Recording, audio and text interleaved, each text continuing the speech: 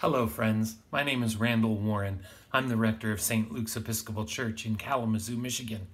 I'm here today with the icon of St. Maria Skobtsova, also known as Mother Maria of Paris, and I'd like to tell you her story.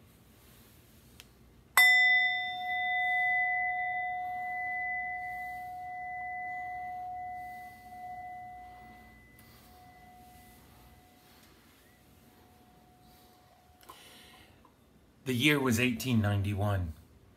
Little Elizaveta Pilenko was born to aristocratic parents in Riga, Latvia, then a part of the Russian Empire.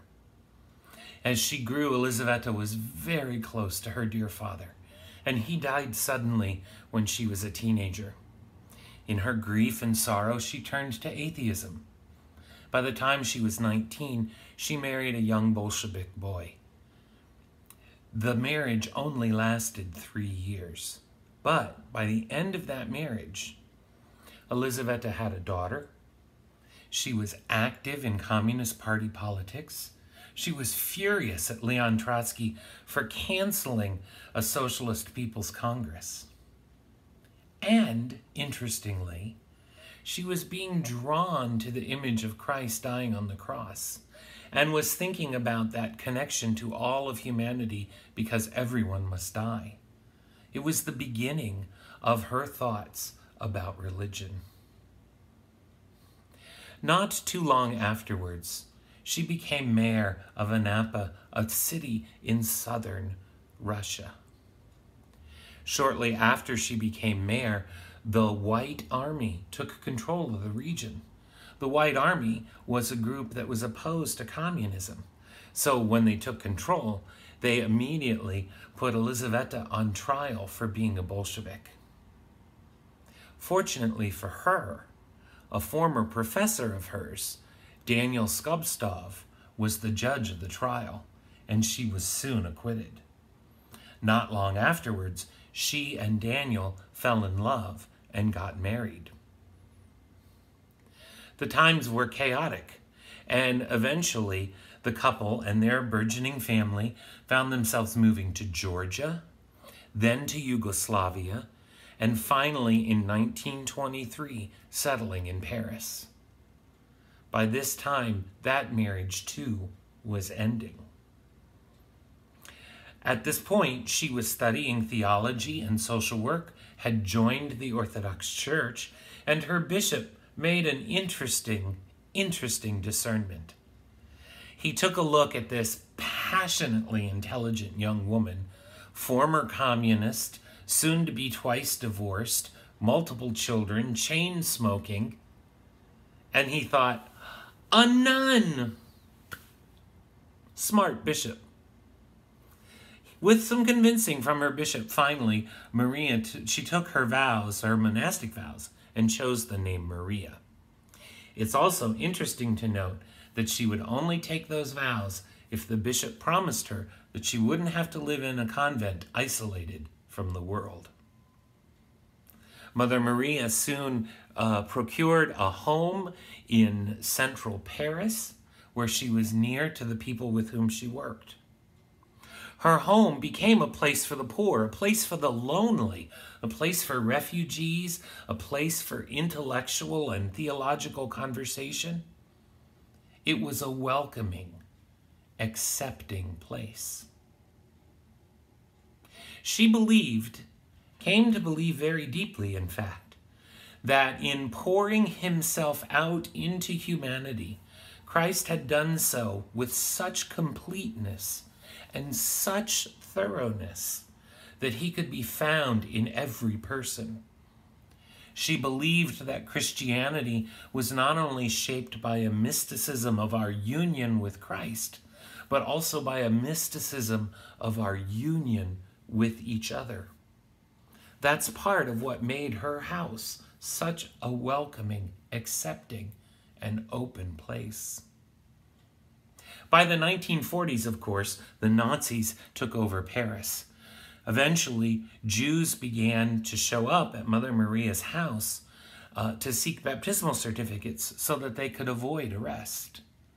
So Mother Maria Father Dimitri, the chaplain to the house, and Mother Maria's adult son Yuri would help people find their baptism, get them a baptismal certificate, help them find refuge, help them hide if they needed to hide, help them get food, anything that they could do to help all people, not just the Jews, who were in crisis with the Nazis in Paris.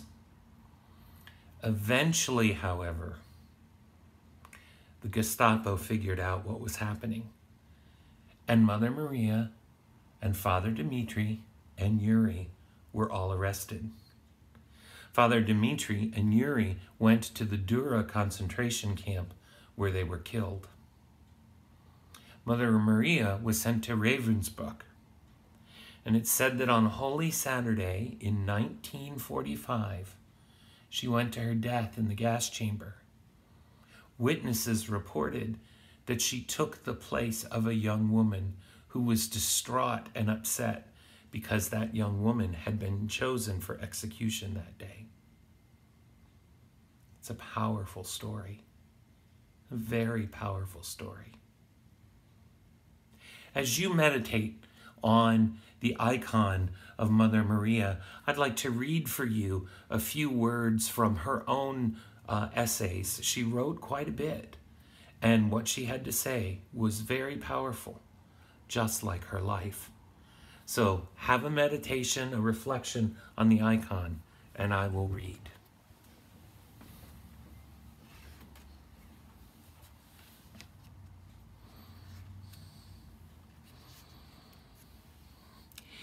It was given to each of us to be born, to love, to have friends, to thirst for creativity, to feel compassion, justice, a longing for eternity and to each of us will be given death.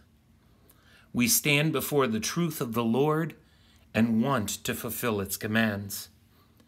And the truth of the Lord tells us that the heavens cannot contain it, but it is contained in the manger in Bethlehem, that it creates and upholds the world and falls under the weight of the cross on the way to Golgotha, that it is more than the universe and at the same time does not scorn a cup of water offered by a compassionate hand. The truth of the Lord abolishes the difference between the immense and the insignificant. Let us try to build our small, our insignificant life in the same way as the great architect builds the planetary system of the immense universe. People make a choice between the sorrowful face of Christ and the joy of life. He who rejects the sorrowful face of Christ in the name of the joys of life believes in those joys, but tragedy is born at the moment when he discovers that those joys are not joyful. Forced, mechanized labor gives us no joy.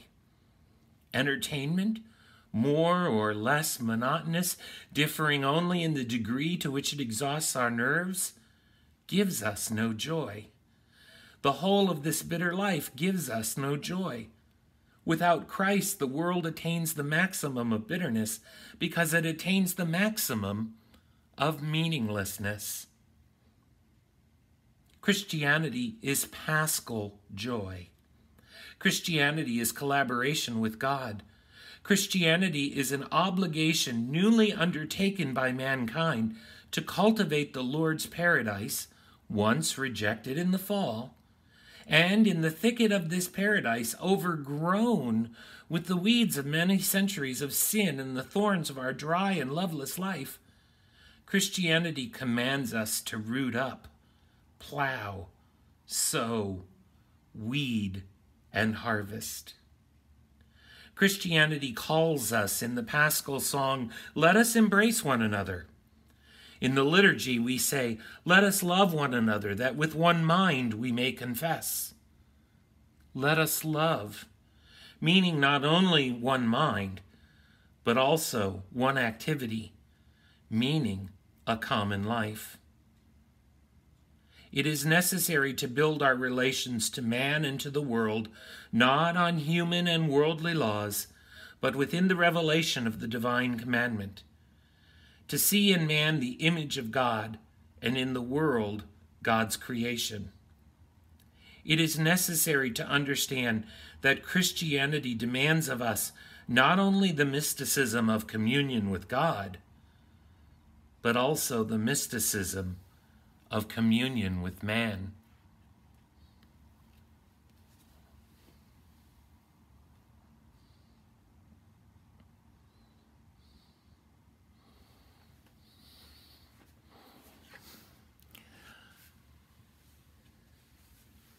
Let us pray.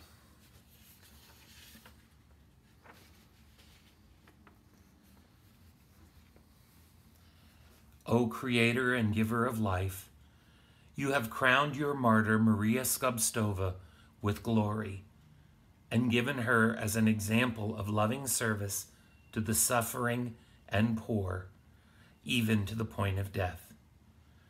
Teach us to love Christ with all our being and to love one another in truth and action, and to strive against injustice and evil in the world, that we may shine with the light of the resurrection through Jesus Christ our Lord. Amen. Thank you for being with us.